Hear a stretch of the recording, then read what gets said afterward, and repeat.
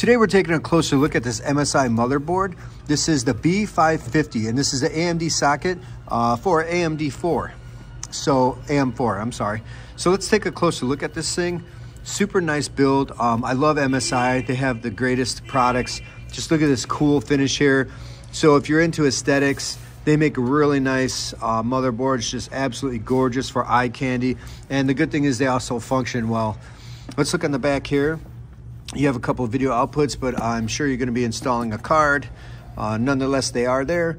And then you have a few USBs here, as you can see, uh, USB-C. So not a ton of USBs back here. A serial port for a mouse or keyboard, some standard audio hookups, and then you do have your Wi-Fi um, antennas right there. So that's cool. Uh, a lot of these are Wi-Fi edition now. Here's the ports for your RAM. So uh, and this has have the DDR4 boost. So this is going to be DDR4 RAM that you're going to be putting on here. These are all aluminum. This thing feels really nice, looks great. Chipset goes right here.